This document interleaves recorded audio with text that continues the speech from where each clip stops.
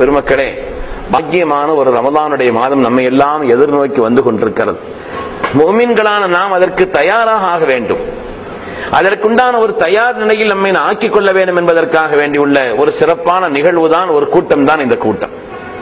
ஏனென்றால் நமது உயிரினும் மேலான கண்மணி ரசூலுல்லாஹி ஸல்லல்லாஹு அலைஹி வசல்லம் அவர்கள் புனிதமான ரமதானுடைய மாதத்திற்கு இரண்டு மாதத்திற்கு முன்னாலேயே அல்லாஹும்ம பாரிக் லனா ஃபீ ரஜப் வ ரமலான். யா அல்லாஹ் ரஜபிலும் ஷாபானிலும் எங்களுக்கு பறக்கச் செய். ரமலானை நாங்கள் நிறைவாக அடைந்து கொள்வதற்கான வாய்ப்பையும் பாக்கியத்தையும் அல்லாஹுவே நீ எங்களுக்கு தந்தரல வேண்டும் என்று கண்மணி ரசூலுல்லாஹி ஸல்லல்லாஹு அலைஹி ரமதானை ரமலானை பற்றி உண்டான அந்த ஆர்வத்தையும் தேட்டத்தையும் அதற்காக வேண்டிய ஒரு முன் தயாரிப்பு நமக்கு மனோரீதியாக உடல் ரீதியாக நாம் தயாராகிக் கொள்ள வேண்டியதனுடைய ஒரு அவசியத்தையும் வலியுறுத்துவதற்காக அப்படி நினைவுபடுத்தினார். எனவே அந்த அடிப்படையிலே புனிதமான ரமதானுடைய வருகையை முன்னிட்டு அதை நம்முடைய கல்விலே பதிய வைக்க வேண்டும் என்ற ஒரு பெரு விருப்பத்தில் தான் இப்படிப்பட்ட ஒரு நிகழ்வுகள் இன்ஷா அல்லாஹ் தொடராக ஏற்படுத்தப்பட்டிருக்கிறது.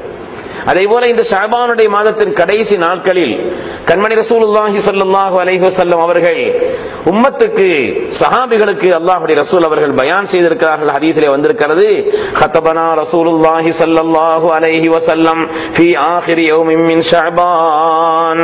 ஷாபானுடைய கடைசி நாட்களிலே கண்மணி நாயகம் சல்லல்லாஹு அலைஹி வசல்லம் அவர்கள் எங்களுக்கு அவர்கள் குத்துபா நிகழ்த்தினார்கள். ஐயோ ஐயுஹன்னாஸ் கதா லல்லக்கும் ஷஹருன் அலீம். மகத்தான ஒரு மாதம் உங்களை முன்னோக்கி வருகிறது. உலமாக்கள் இருக்கிறாங்க நீங்க கேட்டு பாருங்க. அரபியிலே உயர்வை சொல்வதற்கு மேன்மையானது உயர்வானது கண்ணியமானது அந்தஸ்து மிக்கது மேலானதுன்னு சொல்றதுக்கு ஒவ்வொரு மொழியிலையும் ஒரு வார்த்தை இருக்குது. அரபியிலே அவீம் என்ற வார்த்தைக்கு நிகராக வேறொரு வார்த்தையே கிடையாது. உயர்வானது மேன்மையானது கண்ணியமானது அந்தஸ்து மிக்கது என்று உயர்வை சொல்வதற்கு என்னென்ன வார்த்தைகள் எல்லாம் பயன்படுத்தப்படுமோ அந்த எல்லா வார்த்தைகளிலும் ஆக சிறந்த வார்த்தை அவீம் என்ற வார்த்தை.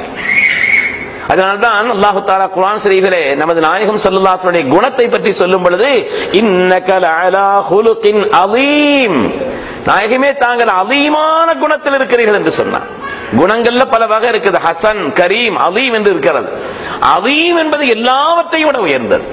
அதனால்தான் அல்லாஹு தானா நமது நாயகம் சல்லாசனுடைய உயர் குணங்களை சொல்லும் பொழுது இன்னக லஅலா ஹுலுகின் என்று சொன்னார்.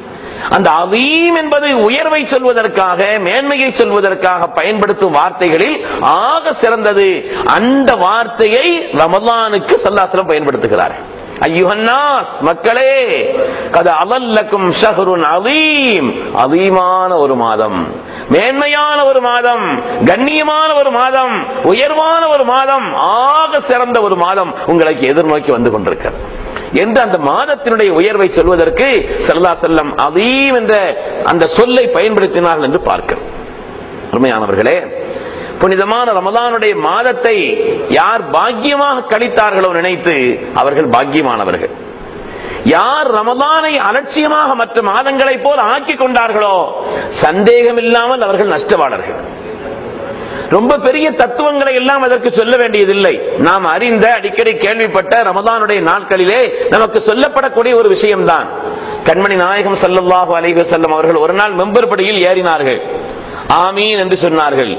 இரண்டாவது படியில் காலடி எடுத்து வச்சார்கள். ஆமீன் என்று சொன்னார்கள். மூன்றாவது படியில் காலடி எடுத்து வைக்கிறார்கள். ஆமீன் என்று சொன்னார்கள். சல்லாசமுடைய நடைமுறையிலே இப்படி ஆமீன் என்று சொல்லக்கூடிய பழக்கம் இல்லை. புனிதமான ஜும்மாவுடைய நாளில் ஹுத்பாவிற்காக அவர்கள் ஏறுகின்ற அந்த நேரத்தில் எவ்வளவு முக்கியமான நேரம் அந்த நேரம்? அந்த நேரத்தில் ஆமீன் என்ற ஒரு வார்த்தையை சல்லாசம் அவர்கள் சொன்னார்களே காரணம் என்னவென்று சஹாபிகள் கேட்க அல்லாஹுடைய ரசூல் விளக்கம் சொன்னார். மூன்று சமயத்திலே நான் ஆமீன் என்று சொன்னேன். அதிலே ஒன்றை காரணம் சொன்னார்கள். அதற்கு செய்தனா ஜிபரையில் அலி இஸ்லாம் அவர்கள் வந்தார்கள். சல்லாசல்லம் சொல்கிறார்கள் ஜிபரையில் அலி இஸ்லாம் வந்தார்கள். யார் ஜிப்ரைல்? சாதாரணமானவர்கள் அல்ல. எண்ணிக்கையில் அடங்காத மலக்குமார்களின் தலைவர் மலக்குல் அம்லாக் ஜிபரையில் அலி இஸ்லாம் அவர்கள் சொன்னார்கள். யார் ரமதானுடைய மாதத்தை பெற்றுக்கொண்டு அந்த ரமதானை தன்னுடைய வாழ்க்கையில் மன்னிப்பிற்காக பயன்படுத்தவில்லையோ அந்த ரமதானை அலட்சியப்படுத்தி விட்டாரோ அவருக்கு நாசம் ஏற்படட்டும் என்று அவர்கள் சொல்ல சல்லல்லாஹு ஆமீன் என்று சொல்லியிருக்கிறார். கொஞ்சம் நம்ம யோசிக்கணும் இந்த ஒரு விஷயம் போதும். ரமதானை பற்றி அதை நாம் கண்ணியப்படுத்த வேண்டியதனுடைய அவசியத்தை பற்றி விளங்குவதற்கு இந்த ஒரு செய்தி போதும். ஏனென்றால் சல்லல்லா அலிஸ்லாம் அவர்கள் ரவுஃபுர் ரஹீம். அல்லாஹ் குர்ஆனில் சொல்வான். அவர்களை பொறுத்தவரையிலே லகஜாக்கும் ரசூலும் மின் அன்ஃபுசிக்கும் அஸீஸுன் அலைஹி மா அனித்தும் அலைக்கும் பில் முஃமினீன. சத்தம் சொல்லுங்களேன். ரவுஃபுர் ரஹீம். அல்லாஹ் சொன்னான். ரவுஃபுர் ரஹீம். அல்லாஹ் தன்னுடைய திருநாமத்தை சொன்னான். மிக அன்புமிக்கவர்கள் மிக கருணையானவர்கள். அந்த ரவுஃபுர் ரஹீமான நாயகம் அவர்கள் சல்லா செல்லம் அவர்கள் யார் ரமதானை அடைந்து கொண்டு அந்த ரமதானை பாக்கியமாக கழிக்கவில்லையோ கழிக்கவில்லையோ அவன் நாசமாகட்டும் என்று ஜிபரை அலை இஸ்லாம் சொல்ல ஆமீன் சொல்கிறார் என்று சொன்னால் அதை எவ்வளவு கவனத்தோடும் கண்ணியத்தோடும் பேணுதலோடும் நாம் நம்முடைய கவனத்தில் வைத்து அதை கழிக்க வேண்டும் என்பதை இந்த ஒரு விஷயத்தை விளங்கினா போதுமா? என்ன சல்லல்லா அலிசல்ல ஒரு விஷயத்தை குறித்து அவங்க துவா செய்தாங்கன்னா அது கபூலாகும் என்ற விஷயத்திலே இஸ்லாமிய எதிரிகளுக்கு கூட மாற்று கருத்து இல்லை. முஸ்லிம்கள் நம்புவார்கள் என்பது வேறு விஷயம்.